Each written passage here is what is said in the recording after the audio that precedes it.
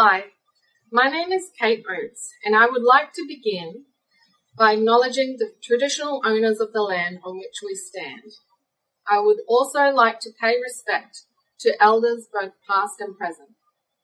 To my absolute surprise, I am the overall winner of the 48th Rio Tinto and QAL Martin Hanson Memorial Art Award, judged by Sarah Johnson and exhibiting at the Gladstone Regional Art Gallery and Museum. My winning piece is called If I Climb the Hill. This is my artist statement. I'm a First Nations artist and illustrator, a Wailwan woman. This painting represents the First Nations gap in the justice ecosystem. The heaviness of the load weighs on everyone who becomes part of the journey. The victims and their families, victim support staff, prosecutors, the defendant and their criminal lawyer, witnesses and the judge, and also so many others.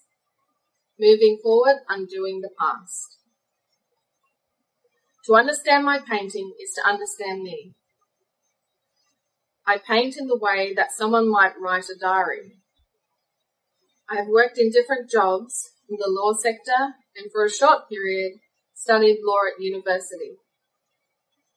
I developed a deep concern for First Nations people who are caught up in the justice ecosystem, and the gap is huge.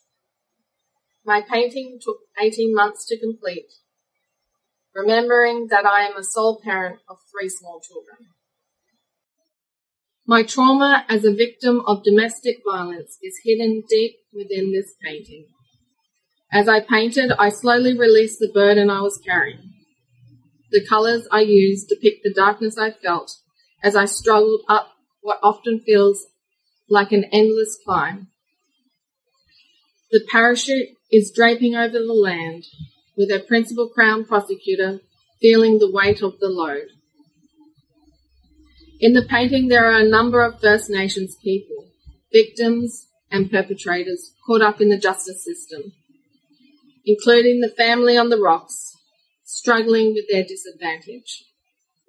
The hope in the painting is in the totems, which are the animals and birds.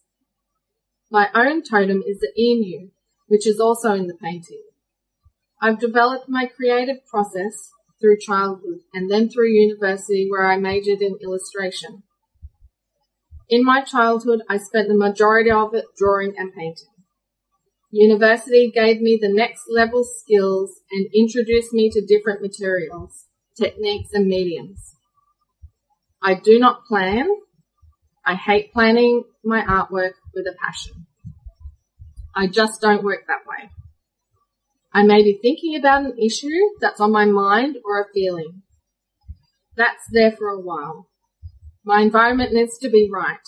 I need to be able to be close to nature, whether it's trees, plants, the earth, and definitely the water. The sea, rain, river, or even a pond. The sound of animals like birds and insect noises.